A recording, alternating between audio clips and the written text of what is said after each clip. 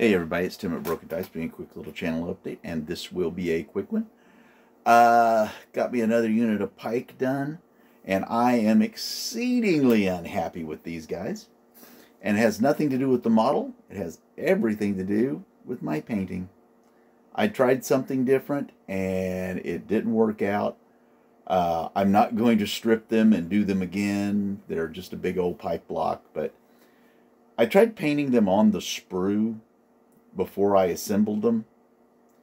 And I didn't like that at all. I, I persevered. I went through the entire unit thinking, okay, I'll get a handle on this. I'll get a handle on it.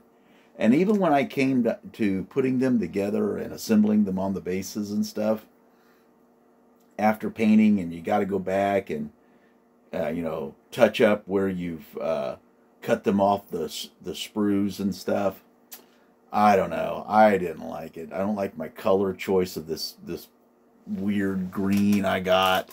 Uh, I used. I don't know. You can see on this guy's like this green here. Not really thrilled with that. Um, yeah, lesson learned. I don't like painting stuff on the sprue. I think I do better when the model is partially assembled. Like with these guys, normally I'll put them all together but the shield and then paint them like in batches.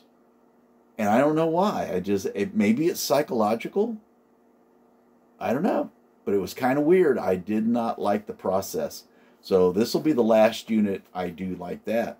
Now, as you can see over behind them, take this camera this way, uh, I have some Macedonian cavalry, and to the left there, I have Greek cavalry, and I'm going to be painting those next. This will be my last pike block for some time for my Macedonians. Just, yeah, I've reached that saturation point when you're doing a unit and you just kind of look at it and you got units on your in your army and go, I think I've painted enough of those for a while. I did the same thing in my um, like my English Civil War army. I I did a bunch of pike blocks for that, and uh, I really looked forward to the uh, uh, artillery pieces and, and baggage trains and stuff like that.